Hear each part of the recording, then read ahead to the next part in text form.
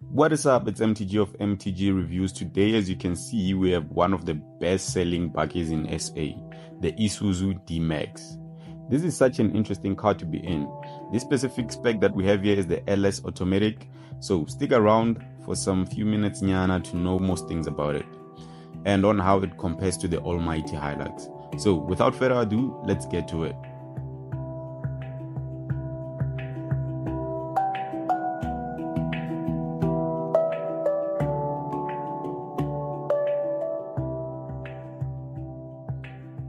Starting with the looks. And oh okay before we, we continue please do consider subscribing as we're trying to hit 1k subscribers. Dango spoiler alert i love the design of this car. It's muscular yet pretty. I think it comes third when it comes to looks only falling behind the Hilux and the ford ranger. And it comes third as well when it comes to sales and which is like a nice coincidence. This big grill has egg fangs look design which i'm not sure how i feel about and it has the Isuzu branding, uh, and which is prominent here. It's on the top of the grill.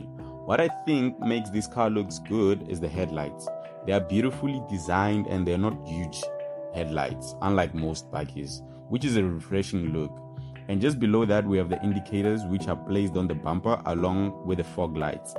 And the design of the bumper is a bit aggressive without being excessive.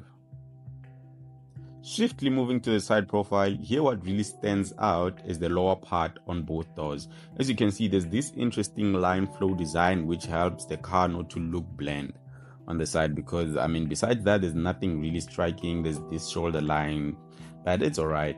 But what's worth mentioning on the side is these huge wing mirrors. And I'm all for that. These these these are good actually for visibility, but the thing is that they present is the wind noise when you're inside but yeah it is what it is. And another thing here on the side is the tires and wheels. We have the all-terrain tires and we have 18 inch wheels which i really love the design of. I'm more into this kind of design um, instead of the two-tone one that basically every car has right now the black and it has the silver. Yeah so i'm more into these ones and these ones are really good.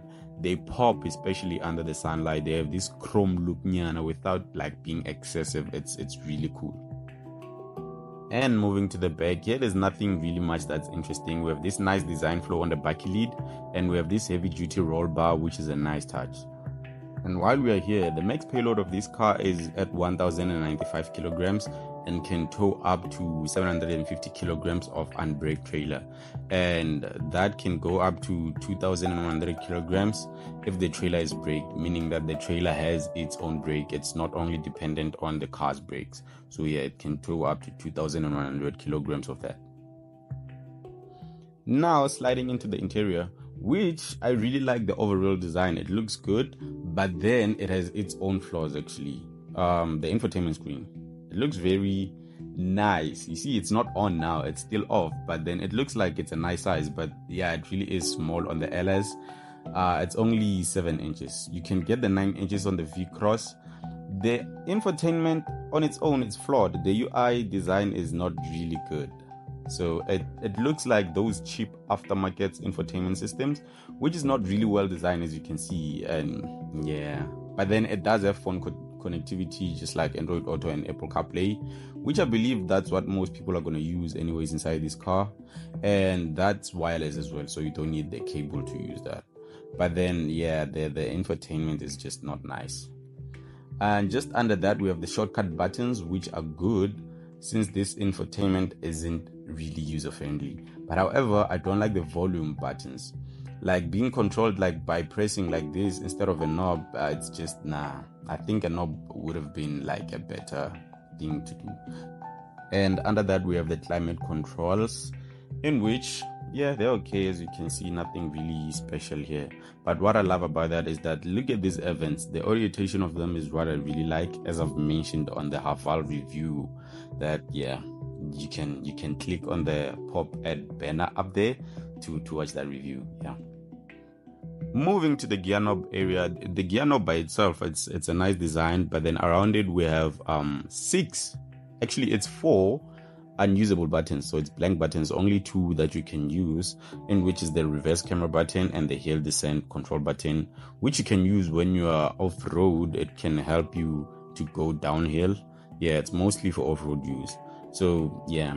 And another thing that we have here on the center is the center storage, which is actually deep. It's nice. The, the size is okay. It's yeah, it's just that man. There's nothing really interesting here as much. So yeah. Now the steering wheel has this really good look. Uh, with the chrome piece just below Nyana on that design. It has the multifunctional buttons where you can set the cruise control and change the information displayed on the small screen on the gauge cluster.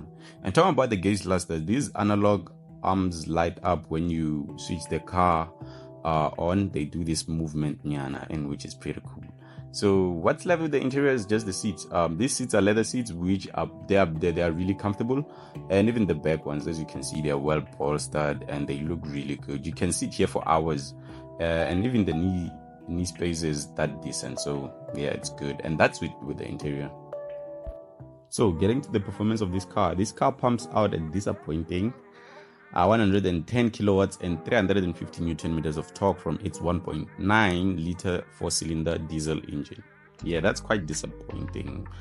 And which is and it's a bit unusual to have a 1.9 on a bakkie. They usually start at 2.0 liters of engine capacity, but yeah, it is what it is.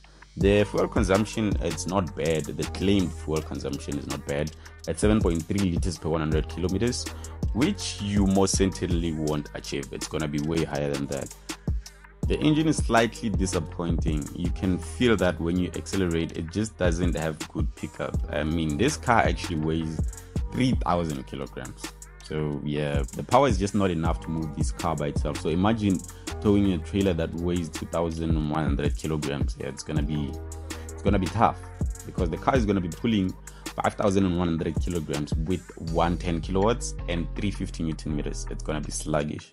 So yeah, and the fuel tank capacity is at 76 liters, which is actually uh, I don't know it's not that big, but it's okay for this car, I guess, because it's a 1.9 and the fuel consumption is not that high. The claimed fuel consumption is not that high. So, how does this car match up to the Hilux? So, if you want to match this car price for price with the Hilux, you would have to settle for the manual transmission 2.4 GD6 on the Hilux with the same power figures and you're gonna get more torque out of the Hilux as opposed to this one. This one has 350 newton meters as I've already mentioned. The Hilux has 400. However, the claimed fuel consumption is basically the same, but the payload is way lower on the Hilux 8 864 kilograms. However, the unbraked trailer towing capacity is the same. It only goes up on the Hilux when it's brake towing, since it manages 2,750, while the Isuzu only manages 2,100 kilograms. So, and the Hilux actually weighs less than the Isuzu. So, yeah, these are seemingly fairly matched. That's until you factor in that the Hilux is manual and the D-Max is automatic. So, yeah, for the automatic Hilux, you'll have to pay 623,000, which is 20,000 more than the D-Max for the automatic on the D-Max. So, yeah, the D-Max might have a chance against the Hilux actually. Talking about the price, how much would it cost you monthly to own this car? So, it costs 603,800 as it is. So at an interest rate of 12% over 6 years with no deposit, the monthly installment would be at 11,897 rand. And factoring in diesel at an estimate of 3,200 and insurance at an estimate of 3,000, the price would round up to 18,097 rand and would go down to 16,843 rand with 10% deposit. So yeah, owning this car is not for the faint-hearted. It's it's quite pricey. So what's my conclusion on this car? I think it's a good bakkie and will for sure get better as there's gonna be a facelift in which I think is gonna address the infotainment issues. I hope so. And well, however, for six hundred and three thousand, um, I'm I'm getting the Hilux. I don't mind the the manual. I I know how to shift gears. So yeah, it's that's pretty cool. But I'm getting the Hilux, so yeah. Danko.